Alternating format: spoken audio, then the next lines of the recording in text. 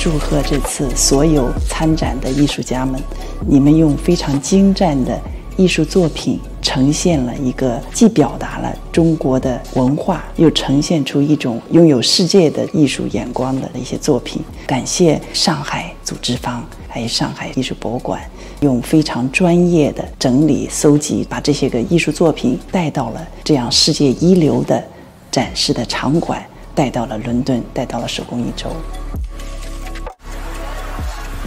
我也要感谢呢，在伦敦的本地的组织方，还有所有的支持的这样的一些机构和单位，大家齐心协力，呃，能够使我们的这次活动，那么在有限的时间、有限的地点，还有呢疫情的特殊情况下，能够最大限度的发挥出它的效果和作用。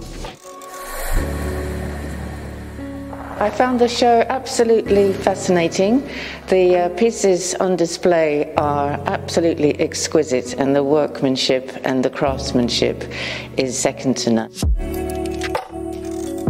For me, particularly, I love the cloisonne and the embroidery to see the modern take and the historic um, embroidery. The wonderful oil painting like embroidery from Suzhou was fabulous.